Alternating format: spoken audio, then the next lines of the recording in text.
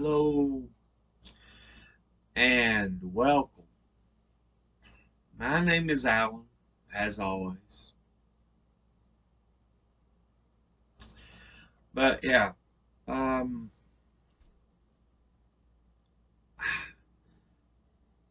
I don't know what I wanted to make today's video about really. I sat there and thought about maybe we'll talk about STEM, STEAM, and what I think should be STEM because of how I feel history has an importance to know. Or we might talk about how I feel there is too much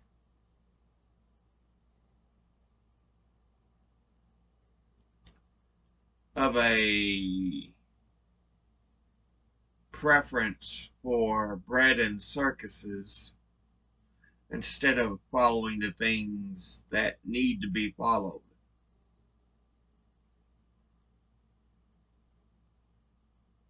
as per example, you know, everybody's fascinating over the Depp Heard trial when there is so much other stuff going on.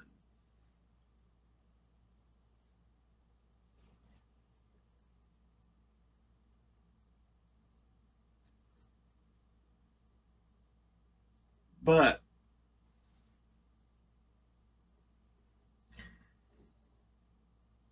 I just decided not to do either video.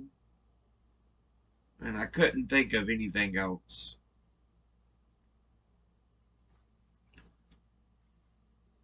So, yeah, I, I don't even know what this video is about.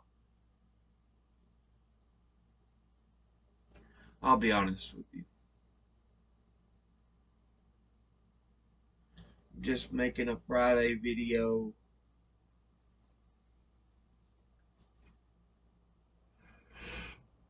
I am yawning. I am so sorry. My sleep's been off.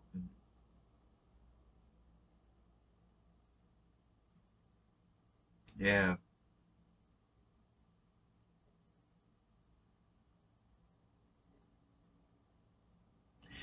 Maybe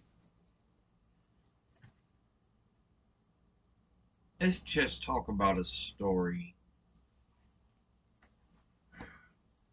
Um, an experience I had, one of my prouder moments.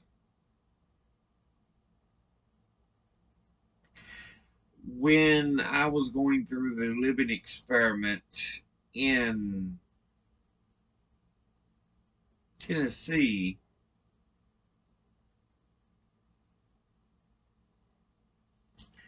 and like I've told before, I lived here in Virginia all my life except for like five years. I had like a little living experiment just across the border into Tennessee.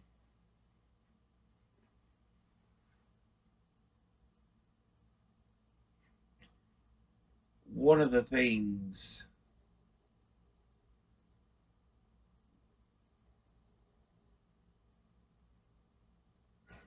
made me proud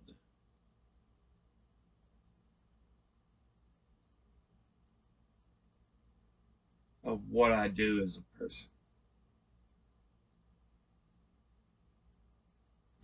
Of how I feel as a person.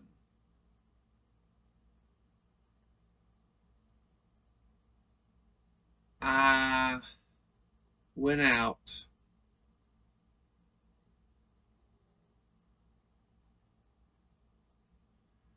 to go get pizza at a uh, chain restaurant.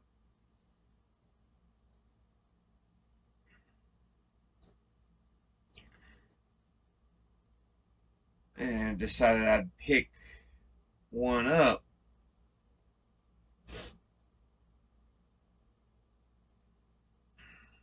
Outside the door, there was a man sitting on the sidewalk in disheveled clothing.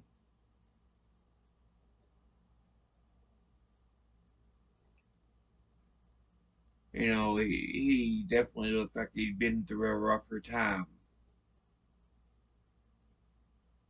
You, you could tell he really had nowhere to stay.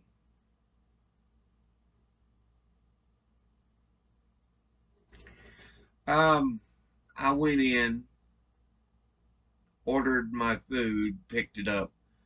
And then I also uh, bought another pizza so I could provide him with some food.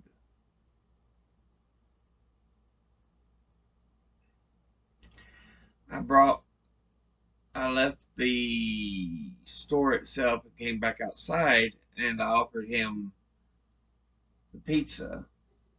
He refused. He said they had already gave him some food, but he thanked me for the offer anyway. And we talked for a moment, you know, after I'd offered to get him something. I sat down and we talked for a bit. And his voice got a bit shaky and he started tearing up.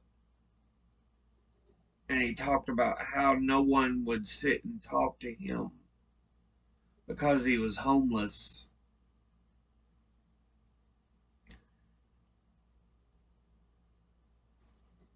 And it just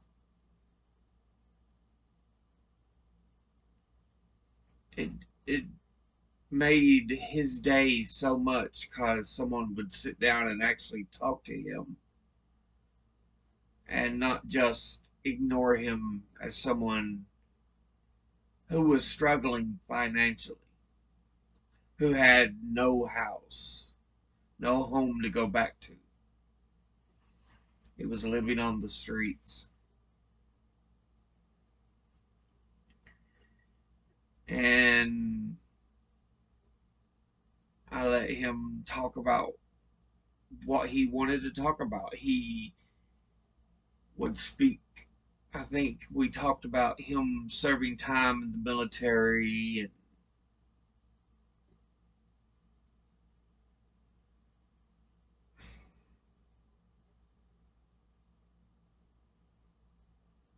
you know, sometimes a little kindness like that does so much.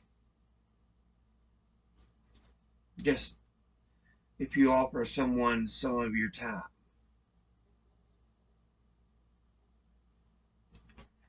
So, yeah. Yes, I'll admit it, there are people who try to use the homeless epidemic as a financial grift to make money.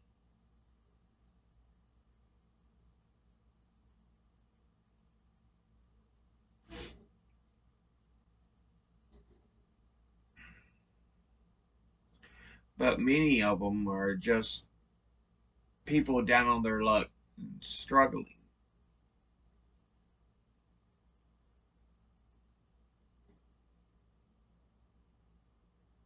And it's better to sit and ask you know people things talk to them instead of fearing that oh i'm going to be lied to or you know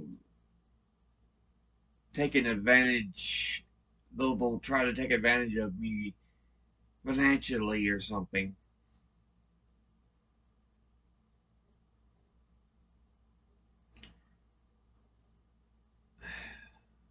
I see it way too often that people want to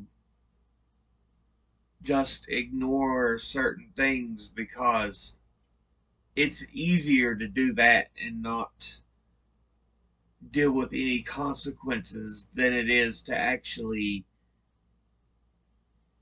take a chance and say, we need to do this, need to talk to these people.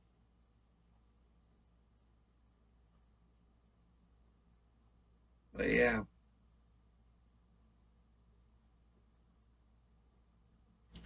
And it just, it disappoints me so much. I understand people don't want to be made fools of. They their kindness doesn't want to be taken advantage of.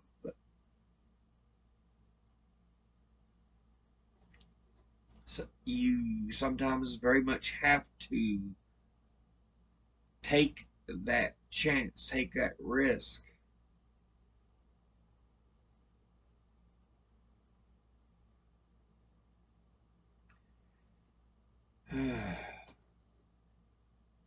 yes, you can get burned, but if you don't take the risk to try to help someone to, to make a change, then nothing's going to get better. Honestly,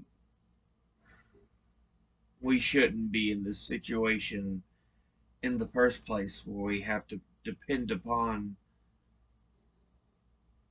there there's people that have to depend upon the kindness of others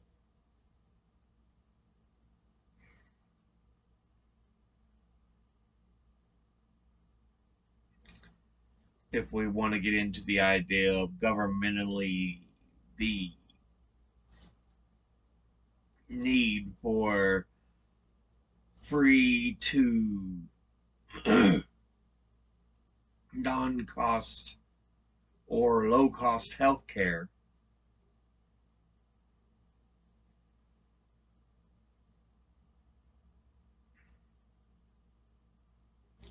I mean, honestly, a homeless person shouldn't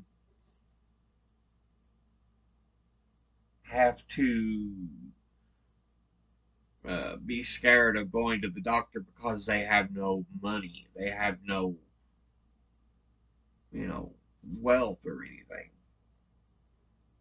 Shoot, regular people shouldn't have to be scared of that, but.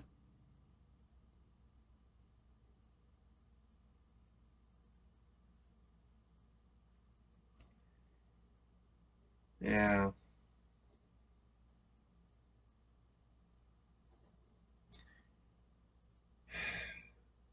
I feel there is so much the government should be taking on as a responsibility, but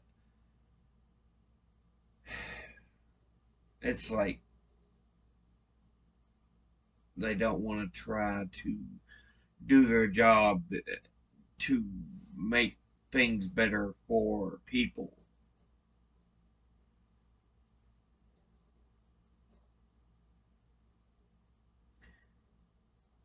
I know some people feel, well, that's that's not their job. I'm like, what is their job? What what purpose do they serve?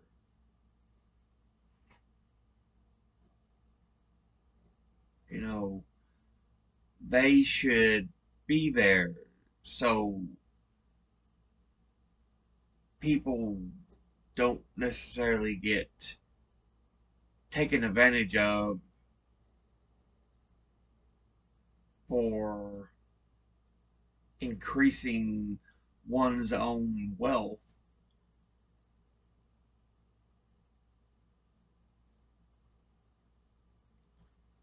Or at least so that any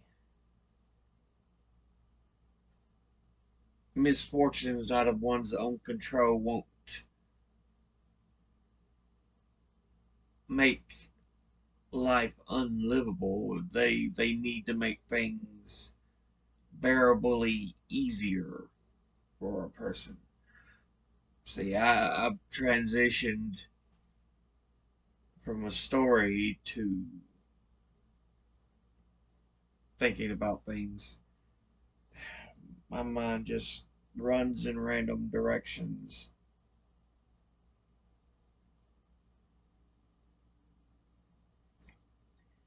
But, yeah.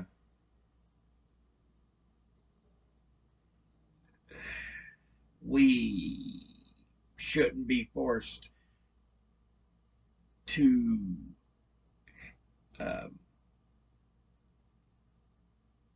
be the charity, the help, when this should be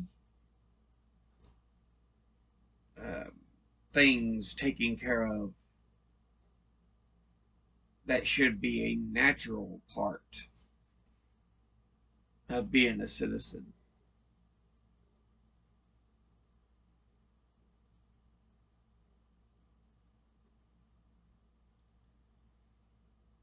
You wonder sometimes,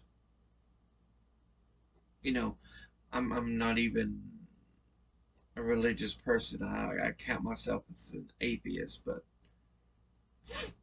you know, what would Jesus think if you believe in that thing, it kind of thing, if he saw today's world?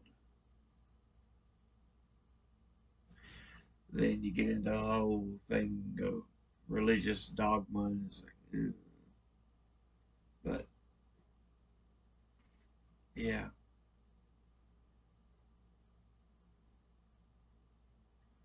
I don't know. I just wanted to kind of talk for a while. I thank y'all for watching. As always, educate thyself. Think, read, study, learn. Someone tells you something you have trouble believing. Ask them to cite their sources. I'll see you all on the next one. Until then, later.